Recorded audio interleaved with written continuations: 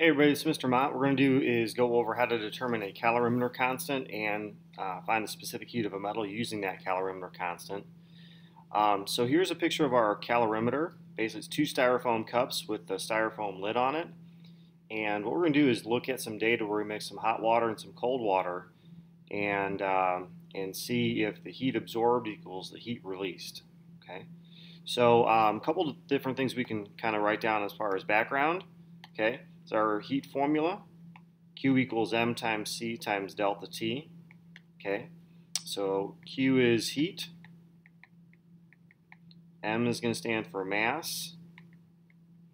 Um, C is going to stand for specific heat.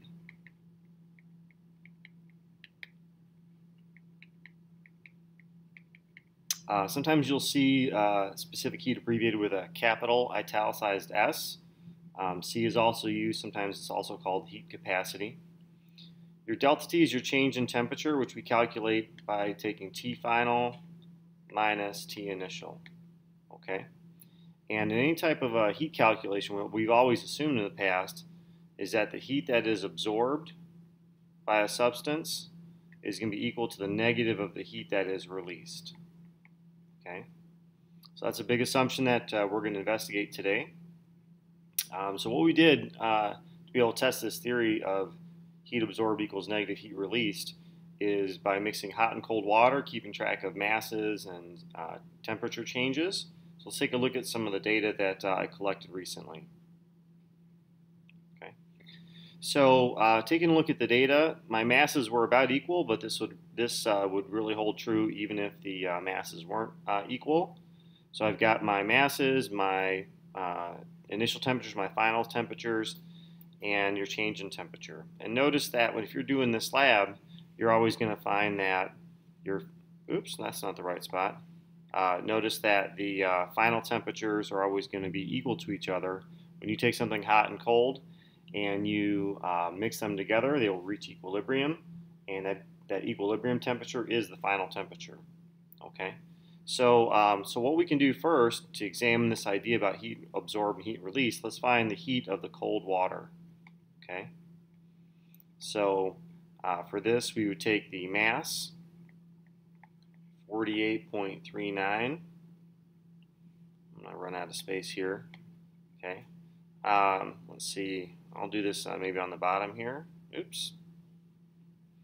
Move this down a little bit. So the heat uh, of the cold okay, uh, 48.39 grams times my specific heat of water, which we should know is 4.18 joules per gram degree Celsius. Um, and then my change in temperature was positive 11.6 degrees. Sometimes we don't write the positive in there, but in this case it's an important idea. And so we're coming out with uh, 2346 joules. Okay, I'm not going to worry guess I've got four sig figs there. Maybe I could have gone to three. Um, but um, that's the idea. Okay, so I'm move this up a little bit.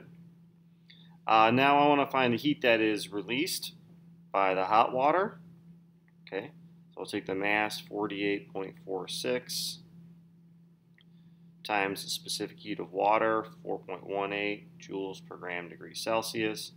And I had a negative 12.5 degrees temperature change. So when I do my calculation, I come up with a negative value because my temperature change was a negative, and 2532. Okay. So what we can see is that my change in temperatures, or excuse me, my, um, my heat absorbed does not equal my heat released. Okay, these two values are not equal uh, and opposite sign. So what we assume to be the case is that the calorimeter absorbed uh, some heat. So what we need to do is try to figure out that idea uh, and, um, and how much heat the calorimeter actually absorbed. Okay, so we're going to move down. I'm going to move some of my data that I collected here, move down this a little bit. Okay, so we'll wait on this.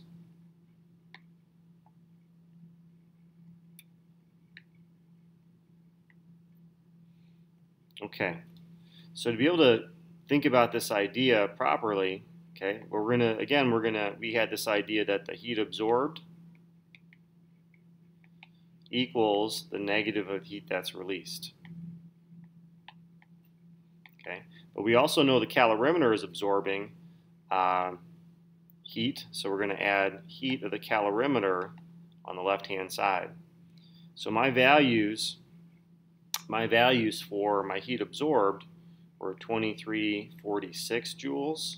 My heat released um, was a negative 2532. Okay, so doing a little algebra, what we can do is we can figure out that the calorimeter absorbed the difference between these two values here, and that should be about 186 joules. So that's how much heat was absorbed by the calorimeter. Now to figure out your calorimeter constant, um, we need to take our uh, joules that, um, or the heat that was absorbed by the calorimeter and divide it by the change in temperature um, of, our, of our cold water. This is what we're going to do for our calorimeter constant. Okay. Um, so again, it's equal to our amount of heat absorbed divided by our change in temperature of our cold water, okay, which was positive 11.6 degrees. And doing our division, it comes out to about 16 joules for every degree Celsius. So for every degree Celsius of temperature change, our calorimeter would absorb 16 uh, joules of energy. Okay. So this is an important uh, idea that we need to think about when we're calculating the specific heat of a metal. Okay. Um, so uh, we're going to move on and sort of incorporate this. Here's some data that uh, I collected when I was trying to find the specific heat of aluminum. Okay. Now, just for time reasons, um, what I'm going to kind of do is kind of go through uh, my calculations pretty quickly. So we're going to start out by finding how much heat was absorbed by the water in this case. Okay, and uh, so I'm going to take my mass of my water times my specific heat. Okay, uh, times, if I can fit this in here, my temperature change, which was positive 2.3 degrees. All right, and then that's going to equal about 521.4 joules. Okay.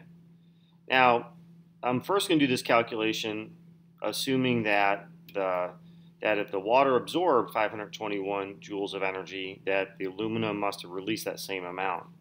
Okay. So then, um, rearranging my equation to solve for C, it would be Q over M delta T.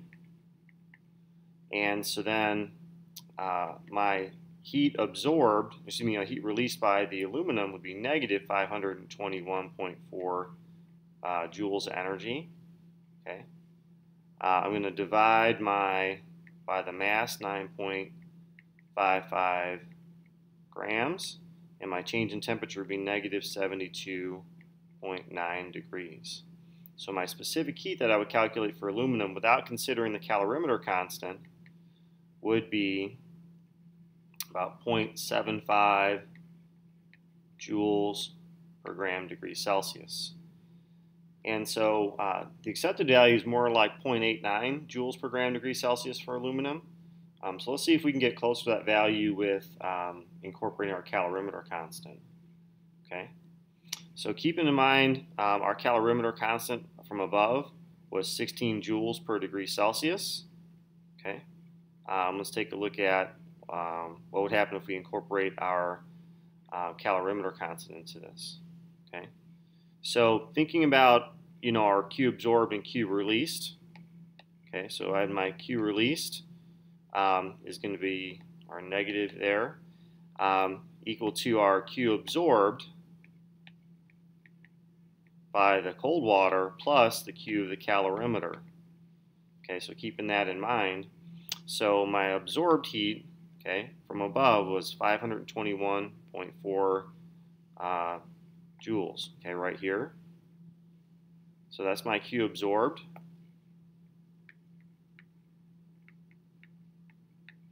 Okay, the heat absorbed by my calorimeter, what we're going to have to do is we're going to have to take since we're using the same calorimeter, that's important.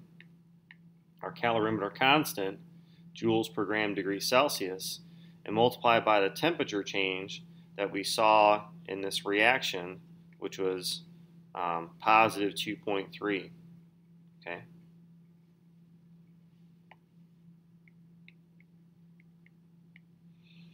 So our new heat released value, okay, doing our calculations here, um, is going to be negative 557.8 joules. Okay, plugging that into our, our equation from before, where C equals Q over M delta T. Okay, I'm going to get negative 557.8 joules over my mass. Okay, and my mass was 9.55.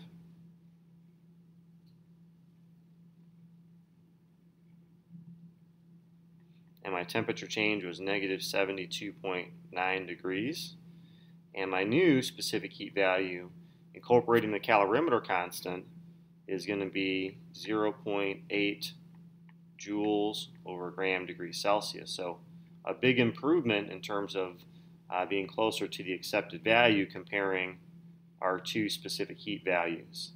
Okay. Hopefully this helps you understand how to calculate the calorimeter constant uh, and then also um, how to incorporate that when finding the specific heat of a metal. Thanks for watching.